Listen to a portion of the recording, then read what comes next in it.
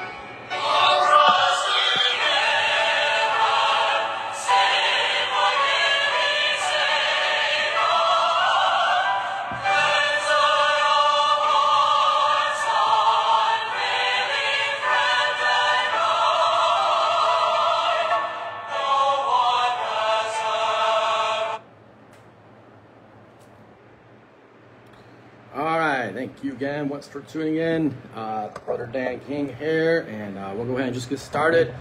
And uh, just so you know, that app I'm using, that music, is Abiding Radio.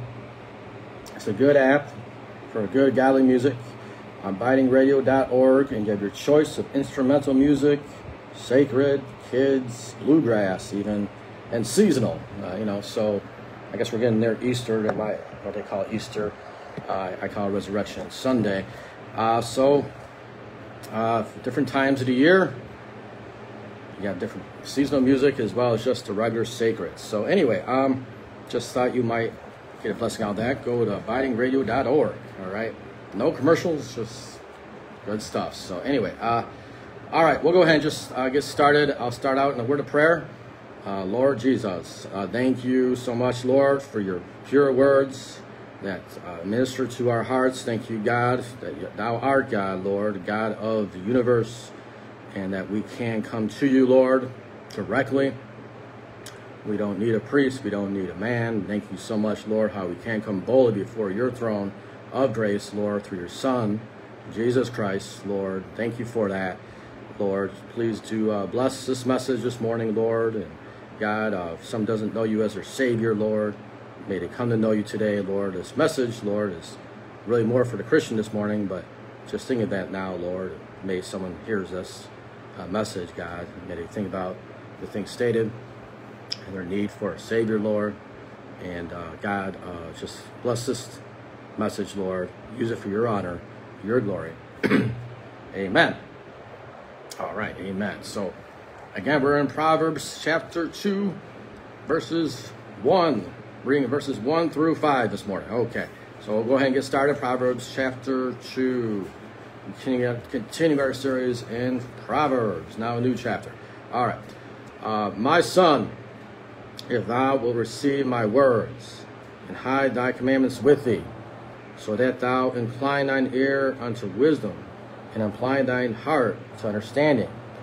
Yea, if thou criest after knowledge, and liftest up thy voice for understanding, if thou seekest her as silver, and search for her as for hid treasures, then shalt thou understand the fear of the Lord, and find the knowledge of God. Excuse me, I just need some water this morning. I got struggling with a little cough.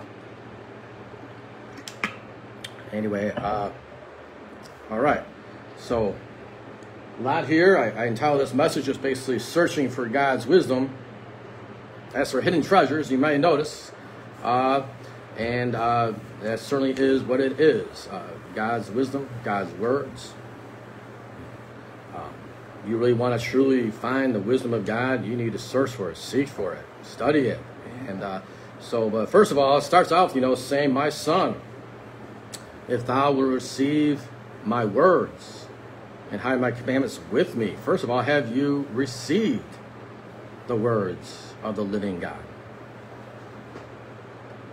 Some people don't even acknowledge that this is the words of God. These are the words, every word Man does not live by bread alone, but by every word that proceedeth out of the mouth of God. And I'm talking about the 66 books of the King James Bible. Those have been proven to be God's pure words. I'm not talking about outside those 66 books. You may see some extra books that are not part of His Word. Thank you for that heart. I see somebody out there. Praise the Lord. All right. So, have you received His words? Um, let me just kind of read a few verses. I'm going to go to 1 Thessalonians 2.13, talking about receiving God's word, all right? Have you received it, the words on this living page as the words of the living God, all right? Um, that's important. That's where salvation starts. If you don't believe this is the words of God, I don't think you could get saved. Know Him as your Savior. All right. So First Thessalonians, I marked First Thessalonians. First Thessalonians. I went to second. Uh, First Thessalonians two thirteen. That says, "For this cause also thank we God without ceasing, because when you received the word of God, which ye heard of us, you received it not as the word of men, but as it is in tr- is in truth the word of God, which effectually worketh also in you that believe." All right. So there's the Apostle Paul speaking unto the Thessalonians. They received the word of God not as the word of man, but as the word of God. Too many people will try to say that these words on the Bible, it's just words of men. Uh, you know, just words just like Aristotle or uh, Socrates and so forth, okay? And uh, that's not true. Socrates, Aristotle don't have any prophecies that have come true. This for one. That's one thing. Uh, this Word of God has over the Bible has over 300 prophecies that came true. All right, uh, and where else? You find just two, three, four, five men that even agree on everything nowadays. Uh, you won't. Yet we have 40 authors of these 66 books of the King James Bible um, over the course of 1500 years in three different languages, and yet they're all in agreement. Okay, uh, 40 different men um, penned down the words of God. All right. How is that possible when you can't even get five people in a room, even maybe in the same political party, to agree? Uh, you can't. All right. So, anyways, um, have you received the Bible as the Word of God? Right. Uh, Bible says, "He despiseth words shall be despiseth his words shall be destroyed." All right. I hope you love His word. Don't hate His word. I ha- I know I have a relative who hates His word. He despises it and he says mean things about it, which are all untrue. Um, these are the words of the living God. Uh, some people are misled. They're listening to different voices on the internet and saying things that are totally opposite of what the Word of God is, unfortunately. So, um, Acts 17.11 also speaks about how the early people in the early church received the words of the living God. These were more noble than those in Thessalonica in that they received the word with all readiness of mind and searched the scriptures daily where those things were so. Right? So, uh, important to acknowledge that these are the words of the living God. How serious do you take that? Right? How serious are you taking me just going through some verses this morning, right? I was like, oh man, he's going over here, he's going over there. What? These are the words of the living God. You ought to receive them, ought to listen, hear from God, right? Ought to have that thirst and wanting to hear from God. And searching the scriptures, make sure what I'm saying is true. Don't, don't accept it. There are also these false religions, false cults. They just listen to their minister, they listen to their priests, so-called priests, that, you know, listens to their interpretation of the Bible. Listen, read for yourself receive his words. Receive, make sure, and search the scriptures. Make sure what that man is saying matches up. The Bible says, let God be true and every man a liar. Romans 3 4. All right. Um, if it doesn't match up to what the Word of God says, you need to listen to that man and listen to God, right? Um, fear the Lord we talked about that last time. We'll get to that later later too, right? The fear of the Lord is the beginning of wisdom. The fear of the Lord is the beginning of knowledge. The fear of man bringeth a snare. We ought not to listen to man, but listen to God. Amen. All right, so my son, again, again, Proverbs 2, verse 1. My son, if thou wilt receive my words, receive it, receive it today, dig in it, search it, search, search through it, and hide his commandments with thee, right? The King David said, Thy word have I hid my heart that I might not sin against thee. How you say it right with God, memorize his word, have his word buried in your heart, read it every day. Be like King David, he said, Oh, my words are his meditation all the day long, right? Hide thy commandments with thee, so that thou incline thy ear unto wisdom, and incline thine heart to understanding. Man does not nat- naturally just want to search God. He doesn't.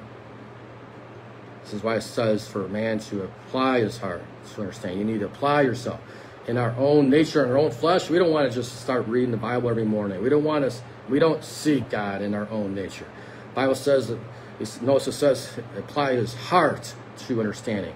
We need to apply our heart. Because why? Because our heart is deceitful above all things, desperately wicked. Who can know it, right? Who can know how far your heart could go if you just let it go where it wants to go? That's why we need God. That's why we need a Savior. That's why we all come short of His glory.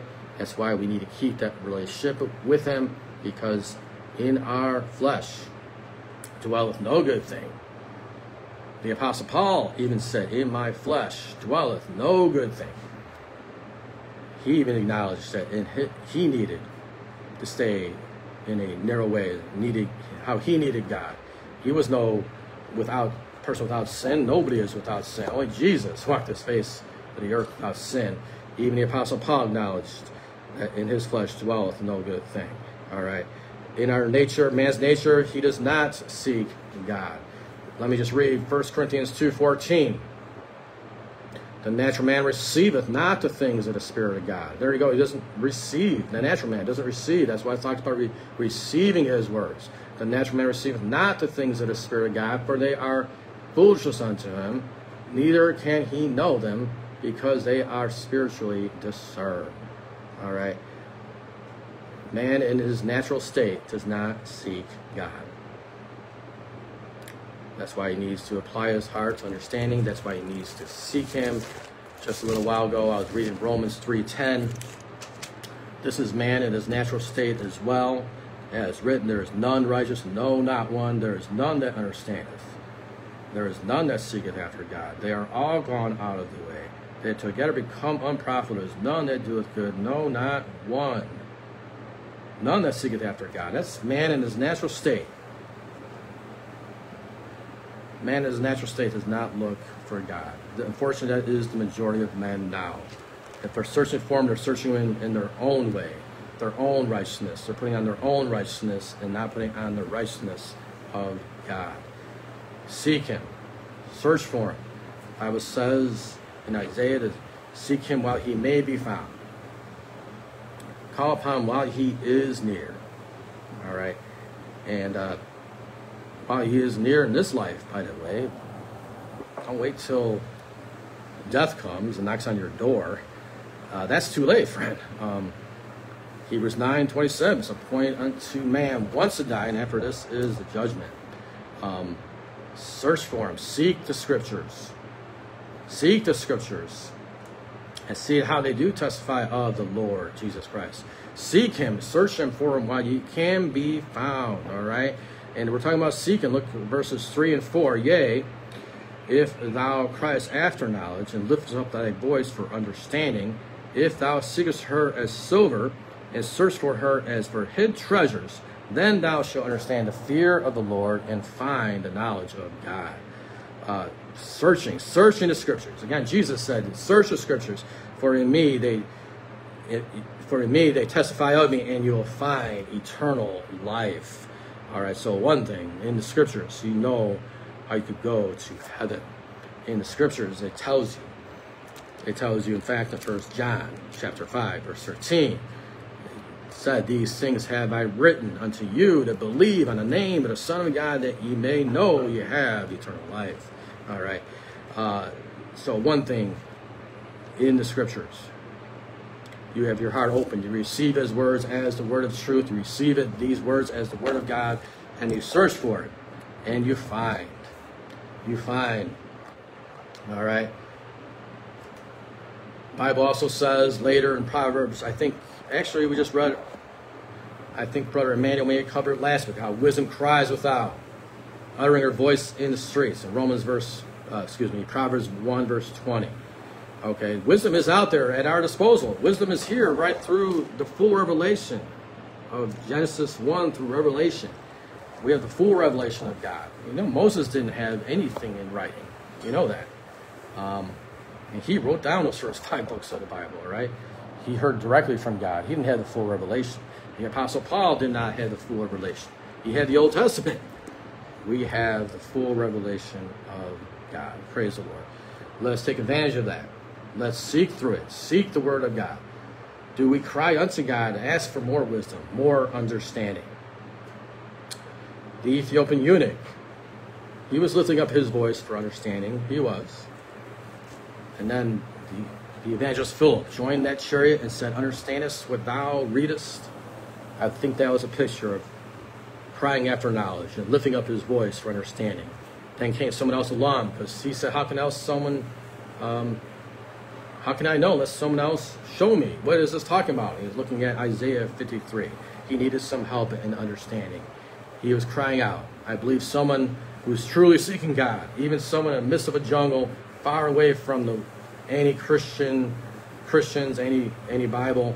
I believe they truly are seeking God. God will send a missionary out to that middle of that jungle in some remote place. I believe He will. All right. Search God. Search the Scriptures and see that they are true. Taste the Word. Taste. Bible says in Psalms, taste the Lord and see that He is good. All right. Amen.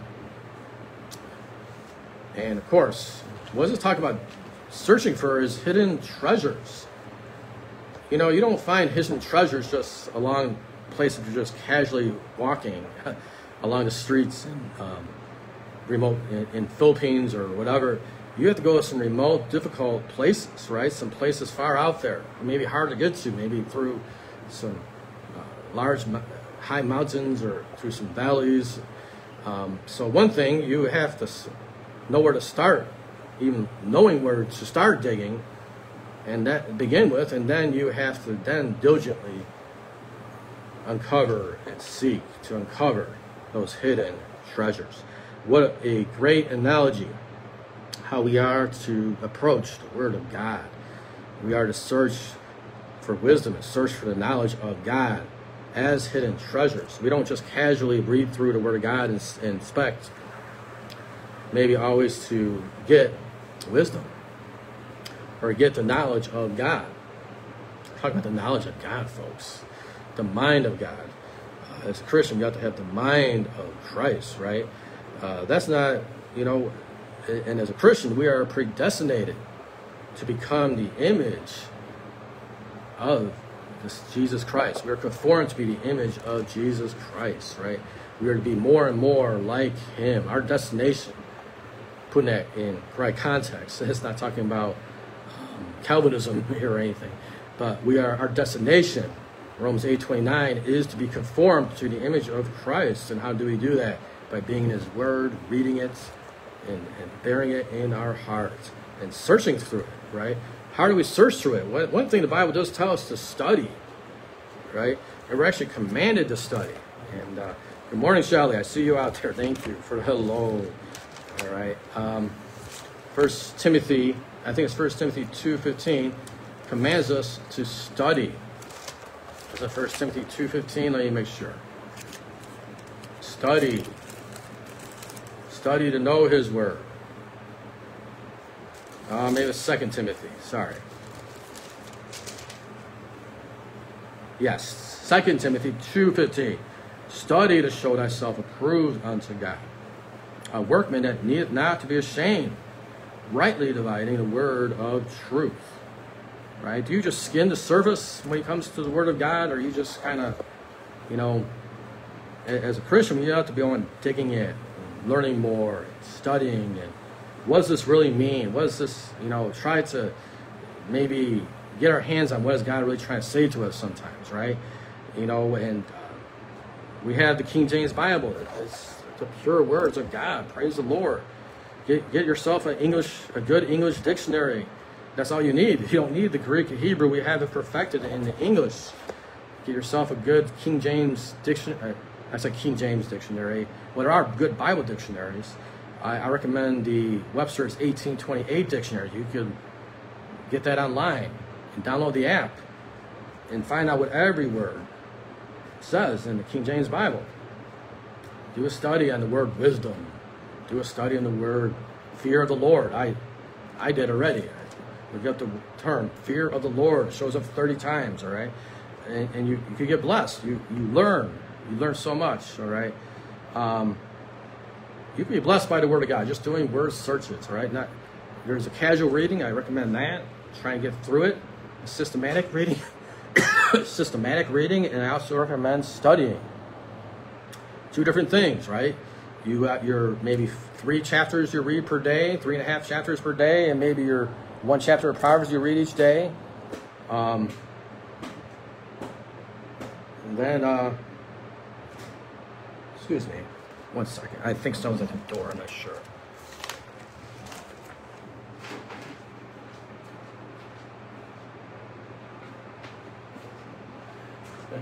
All right. Very sorry for that. Okay. So study to show thyself approved unto God. Yeah, no one was there. I'm just making sure. In the middle of this, and someone's like knocking at the door, I thought. But study to show thyself approved unto God, a workman that need not to be ashamed. Now, a workman, that basically goes along with also how a person may be digging for treasure in those remote places, in, in obscure places in the world, right? Uh, they, they are workmen. They're digging hard. They're looking hard for those treasures, right? Finding gold and silver. Those are not easy things to find, all right? Um, I don't know where to find it. Do you? uh, it's in, it's, as it says in Proverbs, uh, hidden treasures. It talks about hidden treasures. There are hidden treasures to be found in the Word of God if you just study it, search it, search the scriptures, and see that they speak of Jesus Christ and speak of eternal life. All right, speak of Jesus. Basically, I believe every page in the Word of God speaks of Jesus. He is God, manifest in the flesh. You can find him on every page. I believe you can. All right. There's foreshadowing of him with the law and and the sacrifices, and then there's also the, the picture of him with the Passover and blood on the doorpost. It gives a blood on on the top part and then the right and the left, making a picture of a cross. And there's so much in there. All right. Um, if you just search it and seek it, you can find it. All right. Um, so Yea, if thou criest after knowledge, and lift up thy voice for understanding, if thou seekest her as silver, and search for as for hid treasures. Again, Proverbs 2, verse 3 and 4. Then thou shalt understand the fear of the Lord. Then you understand God. You seek him and find him, and you understand the fear of the Lord. That's interesting. We are in our natural state, do not fear God, I don't think. I think we need to be taught the fear of God in our natural state, we don't fear God. Just as a young child, a baby, doesn't in their nature fear their parents. There has to be some kind of letting know who is boss. And that's what's wrong in today's society, by the way. We're going somewhere else. Even um, we have these rebellious children because they people are afraid to discipline their children. Well, it's biblical to discipline your children, right? There's only one way they'll learn to fear.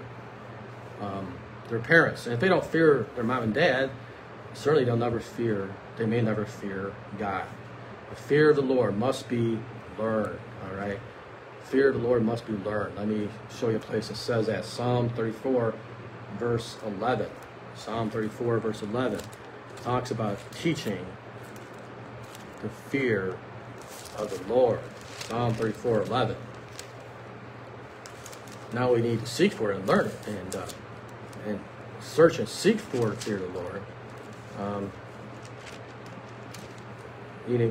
that's the beginning of wisdom. The beginning of knowledge is the fear of the Lord.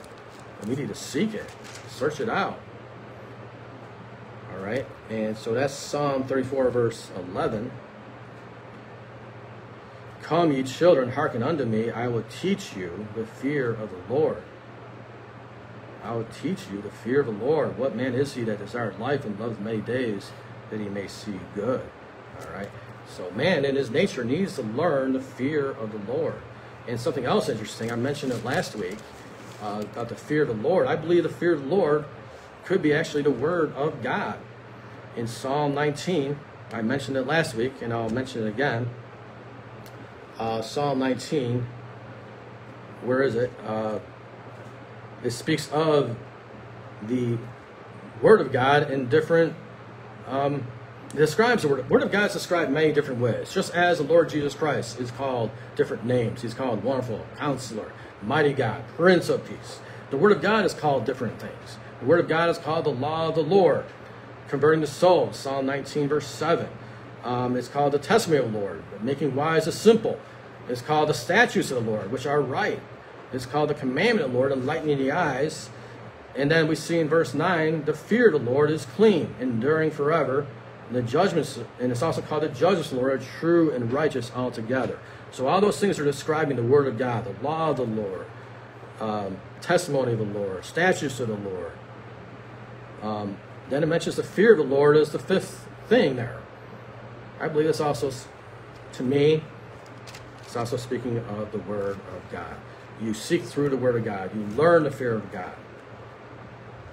Understand the fear of the Lord, right? You search for it, and you understand the Word of God more perfectly. Search for it, seek it, study it. Study to show thyself proven God, that you be a workman that need not to be ashamed, by the way. So many people are not studying the Word of God for themselves. They're listening instead to the minister. They're listening to themselves and getting caught in false cults, false religions, Iglesia No Cristo, I call it. You may say Iglesia Ni Cristo, um, where they're trained just to listen to their minister and then departing from the words of the living God. Right. Uh, any religion that tells you Jesus is not God, don't follow them. All right. Uh, the Bible says if they, uh, I think it's Isaiah, if they speak not according to this word, uh, if they speak not according to his word, do not hear them.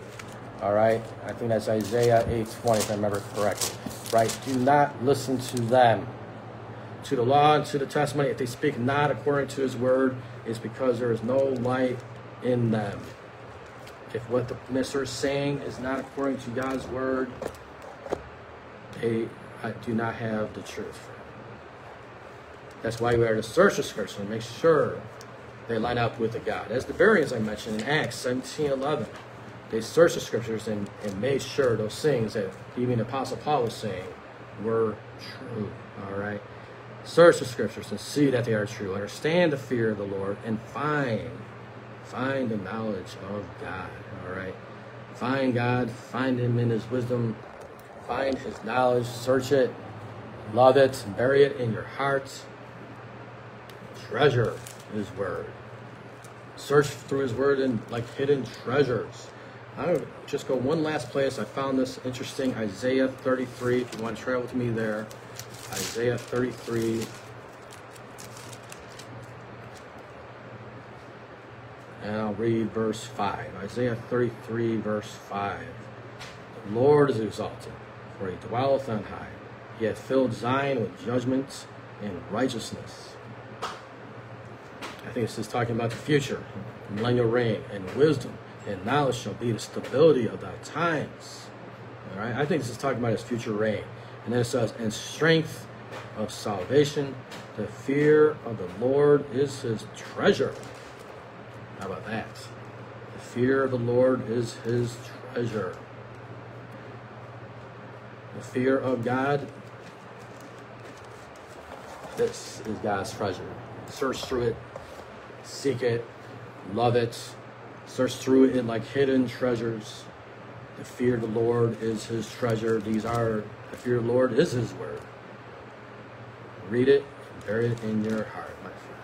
All right, I think I'm going to stop there. Uh, we will have Brother Rick doing the next part of Proverbs tomorrow, verses 6 onward, and then Emmanuel on Thursday morning, and then again our friend Giovanni Sunday morning once again. So, uh, hope you're getting a blessing out of these, and uh, we will continue on. We only have these Tuesday, Wednesday, and Thursday mornings during the week.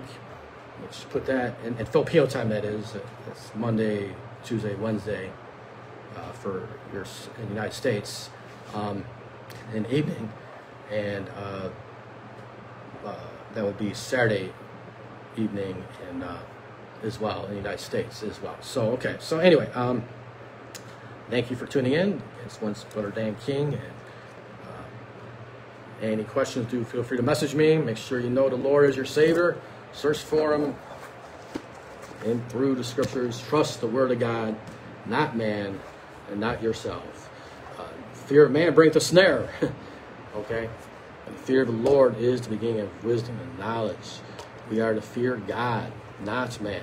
All right? Let us put our trust in God, not man. Let God be true and every man alive. Trust His word, His living word. Amen. All right, let me just end there. God bless you.